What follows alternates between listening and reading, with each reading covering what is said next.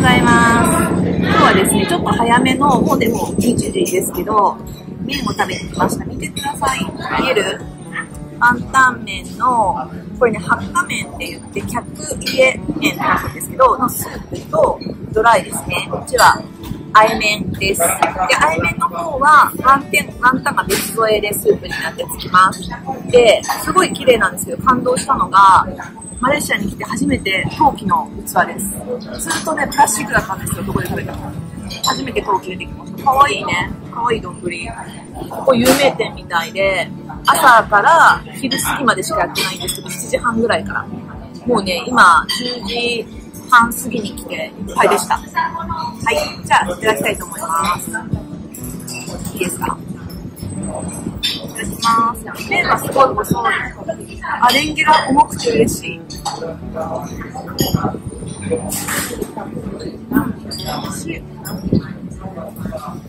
すごいね、さっぱりしてます。あ、こっちが上なんだ。こっちが下。ミンチのお肉。細麺。美味しそう。美味しい。これ美味しい。また来たい。もう、もうまた来たい。ワンタン。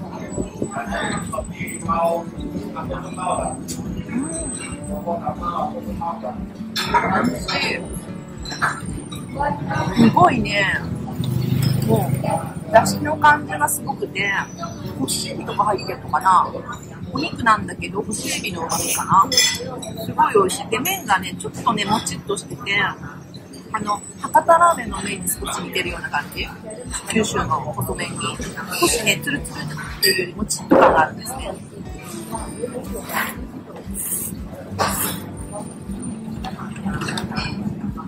これは美味しい。これね、ワンタンミーと似てるんだけど、これはちょっと違う名前なんですって。発火麺。で、ここのお店ではまた違う名前だって。これね、酸っぱいとチリもついてます。ドライもいっちゃっていいですか？はい。ちょっとドライの方も行ってみます。このね、汁なしのことドライって言うんですけど、ドライがまた美味しいのよ。よくあえた方が良さそう。でもね、そんなにタレは沈んでないね。ちょっとね、くっついちゃうんだけど、これね、S、S、M、L かな？あって、S サイズだけど結構ボリュームあったね。なんか、中くらいにしようと思ったけど S でよかった。基本 S でいいですね、マレーシアね。たくさん食べればいいからね。はいのがいいですようん。うん。めっちゃ美味しい。辛くないの全然辛くない。で、あの、結構甘辛いところ多かったけど、甘くない。うん。食べやすい。美味しい、これ。うん。味はどんな味ですか？辛くない辛くなくて、あの、軽いお醤油味と、あとまあ基本塩なのかな。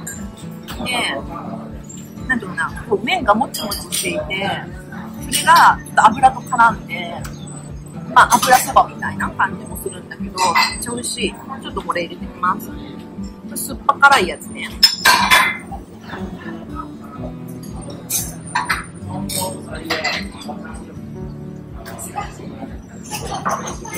うん合う。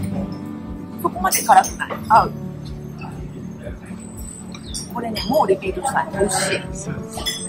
あのね、ワンタンミー3回目、これをワンタンミーとするならば、もう抜群に美味しい。美味しいです。ありがとうございます。はい、えー、こんにちは。FDK です。はい、早速ですね、いただきます。箸を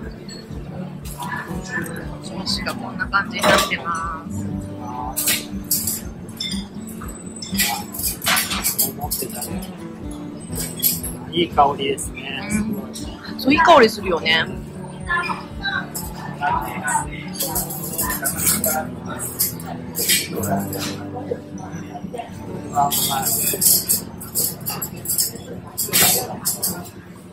中華そばの懐かしい透明なスープだけど結構しっかり味がついてますね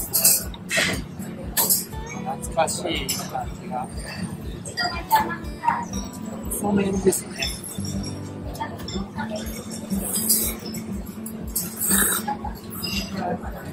これは美味しい。で初め来た時これ結構辛く感じたけどだんだん慣れてきましたね。すごいやっぱり乗せると美味しい。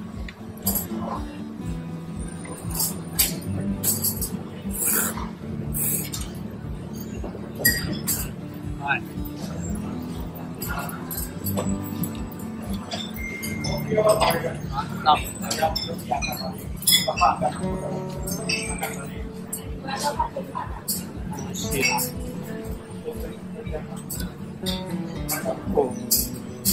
優しい味でもありますね。汁なしのこちらの麺。い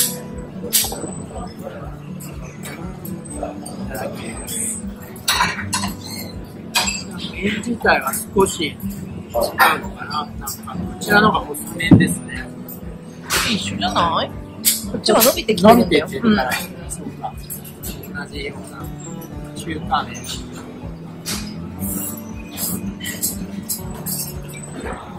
はいそんな脂っこくなくて、肉の味を吸っていて、すごい食べやすいですね。全然辛みはなく。あどうだ？塩？醤油ベース。ちょっと難しいでしょ。でもすごい食べやすい日本人僕は好きな味ですね。今までのと違って甘さがないですよね。ねちょっとチリもこれも乗せていただきます。はい。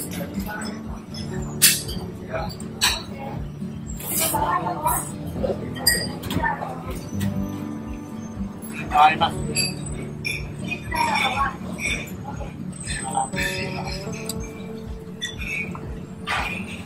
簡単。レモン陶器の器で。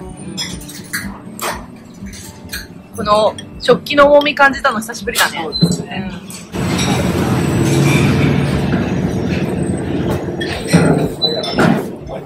優しい味だ。